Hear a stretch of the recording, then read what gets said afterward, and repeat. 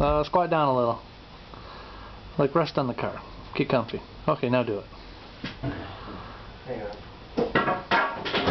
Ready? Yeah. 30 cycles.